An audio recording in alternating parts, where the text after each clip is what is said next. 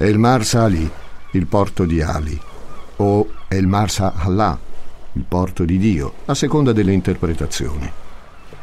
È così che è stata battezzata Marsala dagli arabi, che qui hanno confuso la loro cultura con quella di altri dominatori, normanni, svevi, angioini, rendendo la Sicilia un luogo di convivenza, condivisione e progresso. Marsala è la quinta città della provincia trapanese e conta oggi circa 90.000 abitanti. Come sapete però, amici miei, il nostro non è un podcast di viaggi e di turismo. Demoni Urbani racconta delle città che diventano teatro dei più oscuri delitti della nostra storia. E persino Marsala, che trasuda cultura, arte, ma anche povertà, arretratezza, duro lavoro in mare, non è stata risparmiata dalla furia omicida, dall'esercizio cieco della violenza sui figli dei nostri figli, sugli esseri più indifesi. Andiamo a Marsala, care ascoltatrici e cari ascoltatori, e non sarà un viaggio di piacere. Sono Francesco Migliaccio, benvenuti a una nuova puntata di Demoni Urbani, il lato oscuro della città.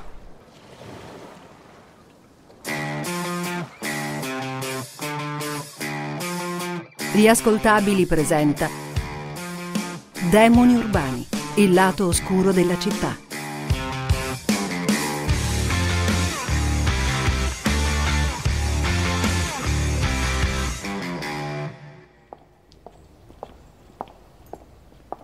Passeggiare sugli antichi Cardo ed Ecumano di primo mattino.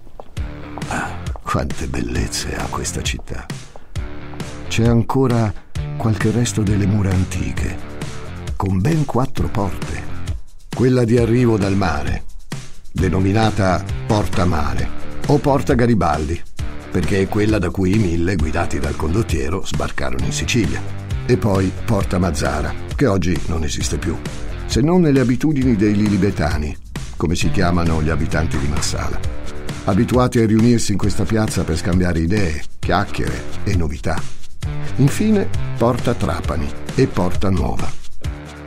I lilibetani o lavorano la terra o vanno per mare, si dice.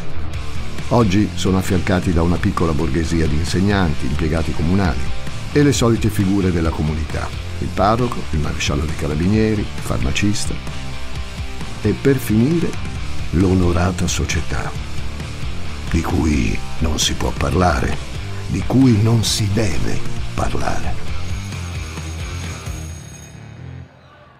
È un caldo pomeriggio di fine ottobre a Marsala. Quattro bambine, tre sorelline e una cuginetta, stanno andando a scuola. Il boom demografico, le strutture scolastiche limitate impongono i doppi turni a scuola. In tre accompagnano Liliana. Liliana saluta le sorelline, la cuginetta, di fretta davanti al portone. La campanella è suonata. Poi le sorelline di Liliana, Virginia e Ninfa, 9 e 7 anni, insieme ad Antonella, la cuginetta più grande di 11 anni, devono ritornare a casa. Loro a scuola ci sono già andate al mattino. La mamma di Virginia e Ninfa e i nonni di Antonella le aspettano a casa. Le aspettano, sì, ma loro, a casa, non ci torneranno mai. Le tre bambine sono scomparse, volatilizzate, perse nei vicoli di Marsala che tanta intimità ispirano ai suoi abitanti, elementi di una società umile e abituata a rispettare l'autorità, da qualsiasi parte provenga. La chiesa, la stazione dei carabinieri, una famiglia d'onore. Ma dove sono finite Antonella, Virginia e Ninfa? 27 anni in tre, tenere, modeste, dolci bambinette che tutti nel quartiere conoscevano. Nessuno parla. Nessun siciliano pare saperne nulla.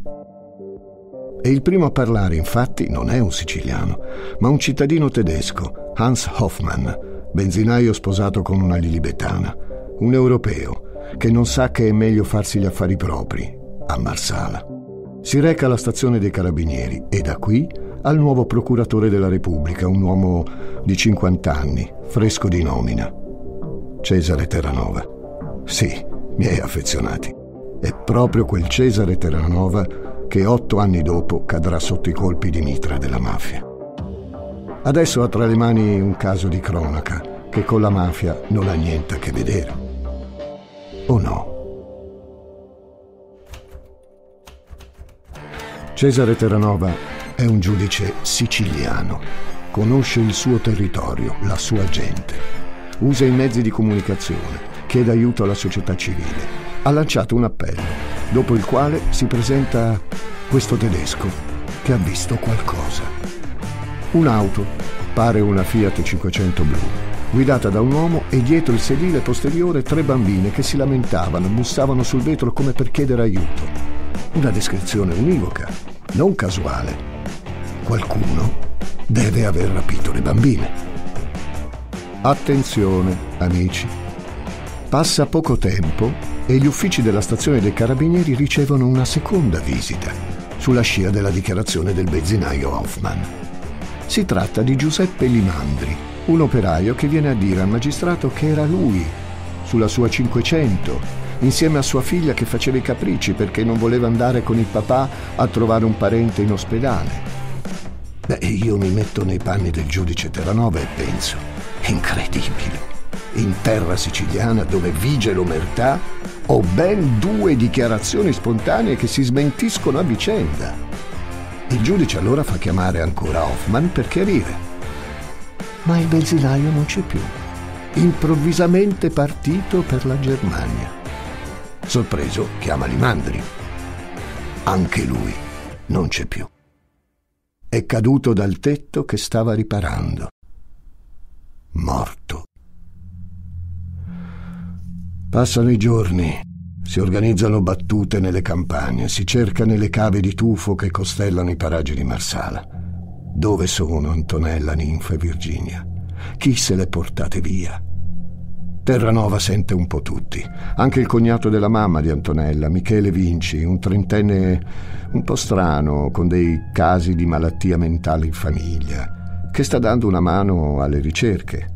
Lui era tanto legato ad Antonella, così tanto si dice, da avercela sempre in casa.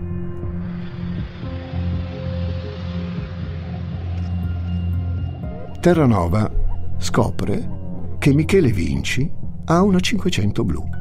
Come è ovvio, lo interroga immediatamente, ma lo rilascia subito. Ha la macchina, sì, ma anche un alibi. Quel giorno ha lavorato in azienda, una cartotecnica nella quale svolge mansioni di fattorino. Il tempo passa, cinque giorni, un'eternità. È il 26 ottobre. Un idraulico scende dalla sua ape per fare pipì. Siamo in periferia, nei pressi di un rudere, i resti di un cantiere di una scuola iniziata e mai finita. Tra i muri, le macerie, la sporcizia, avviene il macabro ritrovamento. Il corpo di una bimba semicarbonizzato, immobilizzato da un nastro adesivo come quelli che si usano per i cartoni, la bocca sigillata, le carni già aggredite dagli insetti. Sì, miei dolenti amici è Antonella, la più grande delle tre bambine. Qualcuno ha deciso di toglierle la vita con ferocia. L'idraulico si mette le mani tra i capelli. Ecco, mi sono messo nei guai, ammette. È il pensiero comune quando l'omertà impera. Non mettersi nei guai, non sapere niente, non vedere niente. Che strano. Il giorno prima, il 25 ottobre, il rudere della scuola era stato perlustrato senza successo. Qualcuno doveva aver portato il cadavere lì la notte stessa del ritrovamento. Una notte nella quale erano saltate tutte le linee elettriche dell'Enel nella zona, mandando al buio tutte le strade. Un blackout che viene giudicato doloso dai tecnici. Ora il posto è presidiato da polizia e sanitari. Al primo esame effettuato il medico legale riferisce di segni devastanti di violenza sessuale. È il segnale che i media aspettavano. Ora si può chiaramente parlare del mostro di Marsala. I giornali iniziano a battere il tam tam e a ottenere i loro tristi riconoscimenti. Le tirature aumentano a dismisura. Tutti vogliono sapere chi ha ucciso Antonella e dove sono Virginia e Ninfa. Intanto il corpicino già in decomposizione viene analizzato in camera mortuaria. È il momento dell'autopsia. Qui l'ennesima notizia sconvolgente, miei cari. Sì, l'imene non è stato lacerato. La violenza non è stata perpetrata. Il giallo si intrica sempre di più. Risentito, il medico legale del primo sopralluogo ammette di essersi fatto suggestionare dal luogo desolante, dalle condizioni della bambina. Una psicosi collettiva.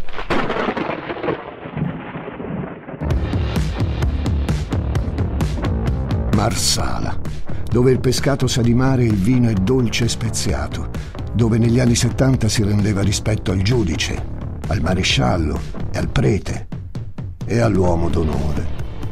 Marsala è sconvolta, ora che Antonella è stata ritrovata morta. Ma dove sono Virginia e Ninfa? Non c'è tempo da perdere, ma le indagini sono lente. Nei giorni successivi le analisi sul nastro da pacchi che avvolgeva la bambina rivelano che è privo di impronte, usato dunque da una mente lucida che sapeva perfettamente che cosa stava facendo Fabbricato in Lombardia, viene fornito esclusivamente a una ditta di cartotecnica nel territorio di Marsala. Eh sì, è la stessa ditta dove lavora Michele Vinci, lo zio di Antonella. Esatto, quello mezzo scemo, quello che ospitava la bambina fin tanto che i genitori stavano in Germania. Convocato nuovamente dal giudice Terranova dopo una blanda pressione, Vinci confessa. Le ha prelevate lui, con la 500, spinto a suo dire da una passione che aveva sempre avuto per la nipote Antonella. Le cugilette avevano poi insistito per venire anche loro e lui non aveva saputo impedirglielo. Allora ecco scatenarsi la furia omicida. Porta le bambine nei pressi di una cava di tufo, un pozzo profondo oltre 30 metri e vi scaraventa le due sorelline. E si porta Antonella, la sua preferita, in un casolare di sua proprietà. Antonella vuole tornare a casa. Urla con tutte le sue forze, ma nessuno la può sentire in quel fondo lontano dall'abitato dove Michele l'ha rinchiusa. Al giudice Vinci dice che non l'ha violentata, ma solo toccata. Le porta da mangiare per giorni, pane salame e scatolette, fino al 25 ottobre, giorno in cui la viene a trovare, ma non si muove l'ha trovata inanimata, fredda, morta, e decide così di legarla col nastro e di trasportarla nella notte del 26 ottobre nel rudere di quella scuola, bruciandone il corpo. Queste confessioni vengono rilasciate il 9 novembre. Sono passate due settimane dal ritrovamento di Antonella. Terranova intima a Vinci di portarlo sul luogo dove ha abbandonato le altre due bambine in quel pozzo. Si fanno tanti tentativi senza successo e alla fine, in fondo a un buco di 30 metri, finalmente vengono riveduti i corpicini di Ninfa e Virginia. Sono riversi uno sull'altro in un abbraccio innaturale, come se le bambine si fossero fatte coraggio a vicenda, abbandonate a loro stesse. Sette e nove anni vite spezzate. In quel luogo di morte, ai primi rilievi, sono presenti diversi uomini di legge e di polizia. Oltre a Cesare Terranova c'è il colonnello Carlo Alberto Dalla Chiesa e il maresciallo Lenin Mancuso. In quello scenario di morte si erano dati convegno tre degli eroi antimafia della nostra storia recente, che moriranno anni dopo sotto i colpi di Cosa Nostra. Ma torniamo al nostro caso, amici di demoni urbani. Abbiamo o no un mostro qui a Marsala? A quanto pare tutti la pensano così.